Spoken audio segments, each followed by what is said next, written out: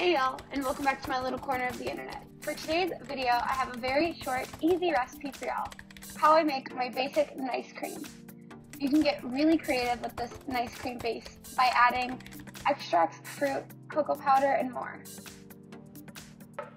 So for this recipe, which makes two servings, I'm using one quart of frozen bananas, a half a cup to a cup of vanilla plant milk, as much as you need to get your blender to blend it smooth, one tablespoon of vanilla extract,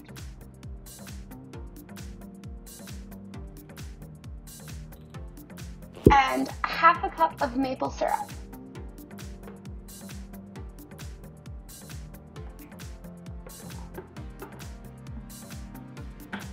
Blend until smooth. Thank you.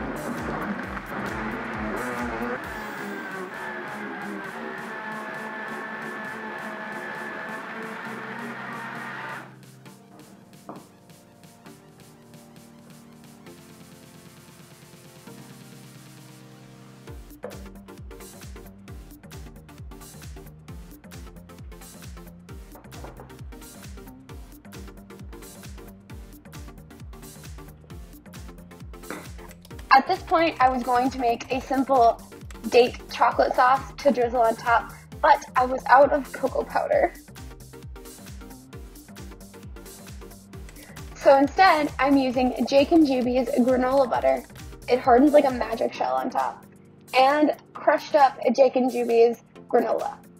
Links for this awesome company in the description.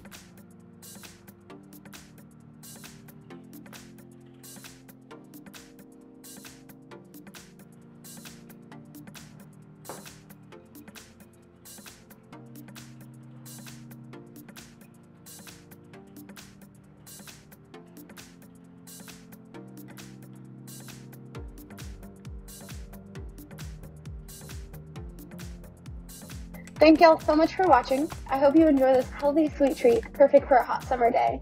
And let me know your favorite way to shake up the traditional nice cream down in the comments. Don't forget to follow me on Instagram and Twitter. Links are down in the description. And I am the Vegan Rainbow. Bye, y'all.